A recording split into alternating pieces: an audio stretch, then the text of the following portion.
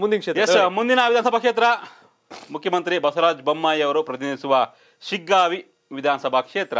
S ಶಿಗ್ಗಾವಿಯಲ್ಲಿ Bommai ಅವರ candidate ಬಿಜೆಪಿಗೆ.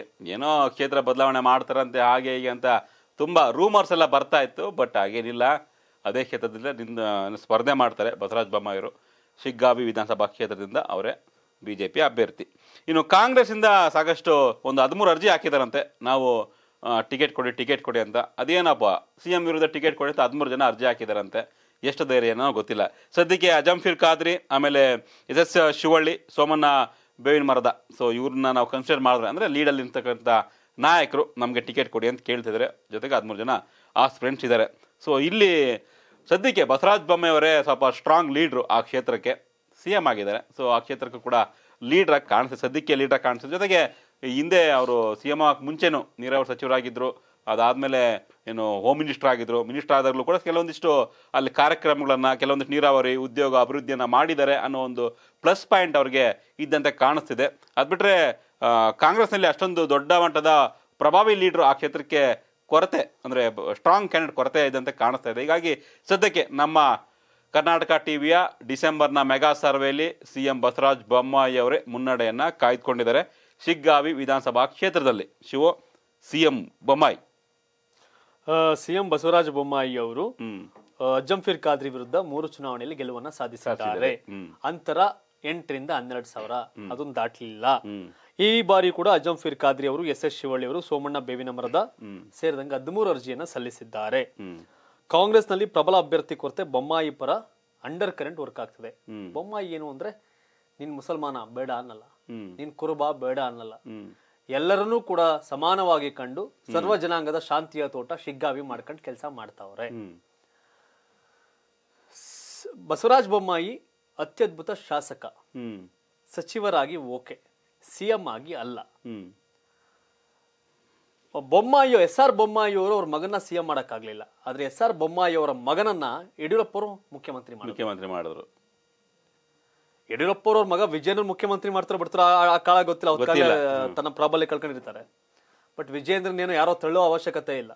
Also capable person ಏನೋ ಸ್ವಲ್ಪ ಆಚೆ ಈಚೆ ಲೂಟಿ ಮಾಡಿದ್ರು ಅದ್ ಮಾಡೋರು ಇದ್ ಆರೋಪ ಸಹಜ ಆರೋಪ ಎಲ್ಲರ ಮೇಲೆ ಇರ್ತವೆ. ಹೇಳಿದ್ನಲ್ಲ ಎಸ್ ಆರ್ ಬೊಮ್ಮಾಯಿ ತನ್ನ ಮಗನನ್ನ ಮುಖ್ಯಮಂತ್ರಿ ಮಾಡ್ಲಿಕ್ಕೆ ಸಾಧ್ಯ ಆಗ್ಲಿಲ್ಲ. ಆದ್ರೆ ಎಸ್ ಆರ್ ಬೊಮ್ಮಾಯಿ ಮಗನನ್ನ ಯಡಿಯೂರಪ್ಪ ಮುಖ್ಯಮಂತ್ರಿ ಮಾಡಿದ್ರು. ದೇವೇಗೌಡರ ಮಗನ ಮುಖ್ಯಮಂತ್ರಿ ಆದ್ರು. ತಡದ್ರು ತಡದ್ರು ಅಂತಾರೆ. ಆಚೆ ಮಾಡಿದ್ರು. ಅದಾಯ್ತು. ಸೊ ಹಾಗೆ ನೋಡಿದ್ರೆ ಕರ್ನಾಟಕದ ರಾಜಕಾರಣದ ಇತಿಹಾಸದಲ್ಲಿ ರಾಜಕಾರಣಿಗಳ ಮುಖ್ಯ ಸಿಎಂ ಆದ್ರಲ್ಲ. ಅವರ ಮಕ್ಕಳು. ಮಕ್ಕಳು ಸಿಎಂ ಆದ್ರಲ್ಲ. ಸಿ ಮುಖ್ಯಮಂತ್ರಿ ಆಗಿದವ್ರ ಮಕ್ಕಳು ಸಿಎಂ ಆದ್ರಲ್ಲ. ಅದರಲ್ಲಿ ಬೊಮ್ಮಾಯಿ ಒಂಥರ ವಿಶೇಷ. ಎರಡನೇ ವಿಚಾರ ಈ ಕ್ಷೇತ್ರಕ್ಕೆ ಬಂದಾಗ. ನಾನು ಹೇಳಲ್ಲ ಹೇಳದಲ್ಲ ಹಿಂದೆ ಬಂದರೆ ಒದಿಯಲ್ಲ ಮುಂದೆ ಬಂದ್ರೆ ಆಯಲ್ಲ. ಬಸಣ್ಣ. ಬಸಣ್ಣ. ಪ್ರೀತಿಯ ಬಸಣ್ಣ. ಹ್ಮ್. ನಮ್ಗೆ ನಮ್ ನಮ್ ನಮ್ಮ ಒಬ್ಬ ಸಿಎಂ ಆಗನ್ರಿ. ಹ್ಮ್. ಆಗ್ಲಿ ಬಿಡಿ ತೋಟಕಣ ನಮ್ ಕೆಲ್ಸ ಆಗ್ಬೇಕು. ಈಗ ಇನ್ನೊಬ್ಬ ಗೆದ್ರೆ ಅಲ್ಲಿ ಅಜಂಫಿರ್ ಖಾದ್ರಿನೋ ಶಿವಳ್ಳಿನೋ ಸೋಮಣ್ಣ ಬೇವಿನ ಮರದನೋ ಗೆದ್ರೆ ಒಬ್ಬ ಜಸ್ಟ್ ಶಾಸಕ. ಬೊಮ್ಮಾಯಿ ಗೆಲ್ಸ್ಬೇಕಾದ್ರೆ ನಮ್ಮ ಪ್ರತಿಷ್ಠೆ. ಎಸ್ ಮತ್ತೆ ಸಿಎಂ ಆದ್ರೂ ಆಗ್ತಾರೆ ನಮ್ಮ ಕ್ಷೇತ್ರದ ಪ್ರತಿಷ್ಠೆ ಇದು. ಕ್ಷೇತ್ರದ ಮರ್ಯಾದಿನ ತರ ಬಂದ್ಬಿಟ್ಟಿದೆ. ಅದು ಹೋಗ್ತಾ ಇದೆ. ಮುಂದೆ Bommai C S R Basavaraj Bommai CM ಆಗೋದ್ರ ಬಗ್ಗೆ ಡೌಟ್ ಚಾನ್ಸೇ ಇಲ್ಲ. ಇಡೀ ರಾಜ್ಯದಲ್ಲಿ ಬೊಮ್ಮಾಯಿ ಹಲೆಯಲ್ಲಿ ನೂರಿಪ್ಪತ್ತು ನೂರ ಮೂವತ್ತು ಗೆದ್ಕೊಂಡ್ ಬಂದ್ರೆ ಕೊಡ್ಬಹುದೇನೋ ಕೊಟ್ಟರೆ. ಕೊಟ್ಟರೆ.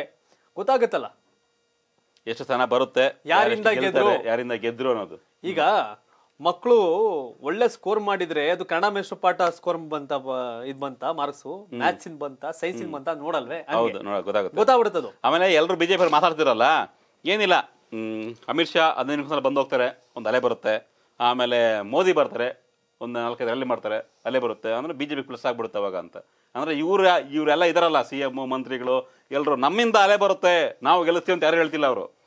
ಅಮಿತ್ ಶಾ ಬರ್ತಾರೆ ಮೋದಿ ಬರ್ತಾರೆ ಎಲ್ಲ ಅಲೆ ಅಮಿತ್ ಬರುತ್ತೆ ಶಾ ಈಗ ಮಂಡ್ಯಕ್ಕೆ ಬರ್ತಾರೆ ಮೂವತ್ತನೇ ತಾರೀಕು. ಫುಲ್ ಟೈಟ್ ಸೆಕ್ಯೂರಿಟಿ ಹಿಂಗ್ ಬರ್ತಾರೆ ಹಿಂಗ್ ಇಳಿತಾರೆ ಅವ್ರ ನಾಯಕರಿಗೆ ಕೈ ಕೊಡಲ್ಲ ಒಂದು ಜಾಸ್ತಿ ಸೆಕೆಂಡ್ ಹಿಂಗ್ ಕೈ ಮುಗಿದು ಹಿಂಗ್ ಹೋಗ್ತಾರೆ. ಜನದ ಕೈ ಮುಟ್ಟಿ ಕಾಸು ಕೊಡೋದು ಯಾರ ಮೇಲೆ ಓಟ್ ಹಾಕಕ್ಕೆ? ಅಮಿತ್ ಶಾ ಮಂಡ್ಯಕ್ಕೆ ಬತ್ತವ್ರಲ್ವಾ? ಮೋದಿ ಮಂಡ್ಯಕ್ಕೆ ಬರ್ತಾರಲ್ವಾ ಬೇಡ ಮಂಡ್ಯಕ್ಕೆ ಬಂದು ನಾಗಮಂಗ್ಳೂರ್ ತಿರ್ಸ್ಲಿ ಅವ್ರ ಹೆಲಿಕಾಪ್ಟರ್ನ ಫ್ಲೈಟ್ ನಿಧನ ಕಾರ್ಗಳನ್ನ. ಹ್ಮ್. ಗೆದ್ದು ಬಿಡ್ತಾರಾ ಬಿಜೆಪಿ ಅವರ ಗೆದ್ದು ಬಿಡ್ತಾರ ಹ್ಮ್. ಅಮಿತ್ ಶಾ ಅರ್ಕಲ್ಗೂಡ್ಗೆ ಹತ್ತು ಸರ್ ಬರ್ಬೋದು. ಅರ್ಕಲ್ಗೂಡ್ ಗೆಲ್ಲೋದ್ ಕಷ್ಟ. ನರೇಂದ್ರ ಮೋದಿ ಮಂಡ್ಯದಲ್ಲಿ ಬೇಕಾದ್ರೆ ಗೆಲ್ಬೋದು. ಮಂಡ್ಯ ವಿಧಾನಸಭಾ ಕ್ಷೇತ್ರ ಮದ್ದೂರು ವಿಧಾನಸಭಾ ಕ್ಷೇತ್ರ chances. K R Pete chances. So ಹಿಂಗೆ. ಇದನ್ನ ಈಸಿ ಟಾಸ್ಕ್ ಅನ್ಕೌಟರ್ ನಾನು ಅದನ್ನ ಹೇಳ್ದಲ್ಲ ಯಾವಾಗಲೂ ಹೇಳ್ತಿರ್ತೀನಿ. ಮೋದಿ ಕನಕ್ಪುರಕ್ಕೆ ಬಂದು ಪ್ರಚಾರ ಮಾಡಿದ ತಕ್ಷಣ ಕನಕ್ಪುರದಲ್ಲಿ ಬಿಜೆಪಿ ಗೆಲ್ಲುತ್ತಾ? ಬಿಜೆಪಿ ನಾಯಕರು ಹೇಳ್ತಾ ಇದ್ರು ಮಂಡ್ಯಗೆ ಬರ್ತಾ ಇದ್ರು ಅಮಿತ್ ಶಾ. ಮೋದಿ ಏಳು- ಬರ್ತಾರೆ. ಏಳು ವಿಧಾನಸಭಾ ಕ್ಷೇತ್ರ ಇದೆ. ಏಳರಲ್ಲಿ ಒಂದು ಐದನ್ನ ಗೆಲ್ಲುವಂತ ಟಾರ್ಗೆಟ್ ನಮ್ಗೆ ಅಂತ. ನಾನು ಮಂಡ್ಯದವನು. ಮದ್ದೂರವನು. ಮದ್ದೂರು ವಿಧಾನಸಭಾ ಕ್ಷೇತ್ರ ಮಂಡ್ಯ ವಿಧಾನಸಭಾ ಕ್ಷೇತ್ರ K R Pete. K R Pete. ಈ ಮೂರು ಬಗ್ಗೆ ಏನಾರ ಕನ್ಸು ಇಟ್ಕೋಬಹುದು ಹ್ಮ್. ಏನಾದ್ರು ಸ್ವಲ್ಪ ಇವ್ರು ಜಾಸ್ತಿ ಜಾದು ಮಾಡಿ ಹ್ಮ್. ಮೇಲ್ಕೋಟೆ ಒಂದು ಆಟ ಆಡ್ಕೊಂಡು ಶ್ರೀರಂಗಪಟ್ಟಣ ಆಟ ಆಡ್ಬೋದೇನೋ ಮಳವಳ್ಳಿ ಹಿಂಗೆ ಇದಾಗಲ್ಲ. ಹ್ಮ್. ಆಗಲ್ಲ. ಆದ್ರೂ ಇವ್ರು ಏನಾರು ನಿಜವಾಗಿಯೂ ನಾನು ನಾನು ನಿಜವಾಗಿ ಇನ್ಮೇಲೆ ಯಾವಾಗ್ಲೂ ಕರೆಯೋದು ಹಿಂಗೆ ಗೃಹ ಸಚಿವ ಅಮಿತ್ ಶಾ ಅಂತ ಕರೆಯಲ್ಲ. ಚಾಣಕ್ಯ ಗೃಹ ಸಚಿವ ಅಮಿತ್ ಶಾ ಅಂತ ಕರಿತೀನಿ. ಮಂಡ್ಯದಲ್ಲಿ ಇವ್ರು ಏನಾರ ಐದ್ ಗೆದ್ರೆ. ಐದ್ ಗೆದ್ರೆ ನಾನು ನನ್ನ ಜೀವಮಾನದಲ್ಲಿ ಹ್ಮ್. ನಾನು ನನ್ನ ಜೀವಮಾನದಲ್ಲಿ ನ್ಯೂಸ್ ಓದೋವರೆಗೂ. ಅಮಿತ್ ಶಾ ಅವ್ರನ್ನ ಸಂಬೋಧಿಸೋದೇನ್ ಗೊತ್ತಾ? ಚಾಣಕ್ಯ ಗೃಹ ಸಚಿವ ಅಮಿತ್ ಶಾ. ಗೃಹ ಸಚಿವ ದಿನ ಚೇಂಜ್ ಆದ್ಮೇಲೆ ಅದನ್ನ ಬೇರೆ ಹೇಳ್ತೀನಿ. ಚಾಣಕ್ಯ ಪದ ನಾನು ಮಿಸ್ ಮಾಡಲ್ಲ. ಮಿಸ್ ಮಾಡಲ್ಲ. ಮಂಡ್ಯ ಜಿಲ್ಲೆ ಏಳರಲ್ಲಿ. ಐದ್ ಗೆದ್ರೆ. ನಾಲ್ಕರ ಓಲಿ ಬಿಡು. ನಾಲ್ಕಾದ್ರೂ ಬೇಡ ಮೂರ್ ಗೆಲ್ಸ್ಲಿ. ಮೂರ್ ಗೆದ್ರೆ. ನಾನು ಇನ್ ಮುಂದೆ ಯಾವಾಗ್ಲೂ ಹೇಳ್ತೀನಿ. ಚಾಣಕ್ಯ ಗೃಹ ಸಚಿವ ಅಮಿತ್ ಶಾ ಅವರು ಅಂತ. ಅವರೆಲ್ಲ ಬೇರೆ ಕಡೆ ಓದು ಏನೋ ಮಾಡ್ತಿರೋ ಅದನ್ನ ಹೇಳ್ತೀನಿ. ಅದಾದ್ರೆ ನೋಡೋಣ ಹಾಗಾದ್ರೆ. ಇವರು ಚೆನ್ನಾಗಿ ಫಲವತ್ತಾದ ಭೂಮಿ ಗುಜರಾತ್ ಅಲ್ಲಿ ಬೆಳೆ ಬೆಳ್ಕೊಂಡ್ ಬಂದವ್ರೆ. ವೀಕ್ ಆಗಿರೋ ಕಾಂಗ್ರೆಸ್ ಮುಂದೆ. ಆಪ್ ಬಂದಾಗಿ ಆಪ್ ಆಪ್ ಇಡ್ತು ಕಾಂಗ್ರೆಸ್ಗೆ ಗೆದ್ಕ ಬಂದ್ರು. ಇಲ್ಲಿ ಹಳೆ ಮೈಸೂರಲ್ಲಿ ಬಿಜೆಪಿಯ ಸನ್ನಿವೇಶ ಆಪ್ ಸನ್ನಿವೇಶ ತರ. ಆಪ್ ಸನ್ನಿವೇಶ ತರ. ಕಾಂಗ್ರೆಸ್ ಜೆಡಿಎಸ್ ಬಿಜೆಪಿ ಟೈಪ್ ಅವರ ಸ್ಟ್ರಾಂಗ್ ಆಗಿ. ಎಸ್ ಸರಿನಾ? ಇವ್ರು ಬೆಳೆ ಬೆಳೆದಿರೋದು ಫಲವತ್ತಾಗಿರೋ ಭೂಮಿಲಿ. ಕಮಾನ್ ಅದೇ ಹಂಗಾರೆ ಇವ್ರ ಇವರ ಸೂಪರ್ ಸ್ಟಾರ್ ಸಂಸದ. ಬೆಂಗಳೂರು ಮೈಸೂರು ಹೈವೇ ರಿಪೋರ್ಟಿಂಗ್ ಮಾಡುವಂತ ಸಂಸದ ಪ್ರತಾಪ್ ಸಿಂಹ ಅವರು. ಹುಣಸೂರು ಚಾಮುಂಡೇಶ್ವರಿ. ಪ್ರಿಯಾಪಟ್ನ ನರಸಿಂಹರಾಜ ಗೆಲ್ಸ್ಕ ಬರ್ಲಿ. ರಾಜಕೀಯ ಮೋದಿ ಅವ್ರವ್ರ ಊರಲ್ಲಿ ಅವರವರೇ ಹುಲಿಗಳು.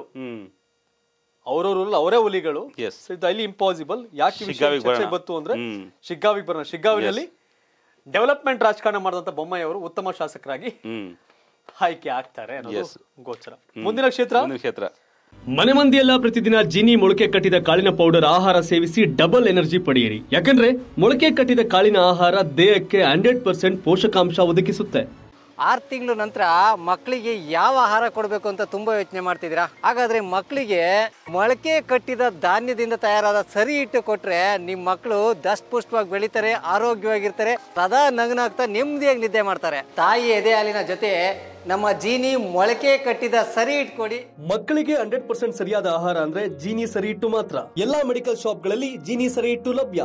ಅರ್ಧ ಕೆಜಿ ಚಿಕನ್, ಅರ್ಧ ಕೆಜಿ ನಾರ್ಕ್ ಚಟ್ಟಿನಾಡು ಬಿರಿಯಾನಿ ರೈಸ್ ಮಸಾಲ ಇದ್ರೆ ಇಪ್ಪತ್ತು ನಿಮಿಷದಲ್ಲಿ ಸೂಪರ್ ಆದ ಬಿರಿಯಾನಿ ರೆಡಿ ಆಗುತ್ತೆ. ಈ ಕೂಡಲೇ ಕಾಲ್ ಮಾಡಿ ನಾರ್ಕ್ ಚಟ್ಟಿನಾಡು ಬಿರಿಯಾನಿ ರೈಸ್ ಮಸಾಲ ಮನೆ ಬಾಗಿಲಿಗೆ ಡೆಲಿವರಿ ಕೊಡ್ತಾರೆ.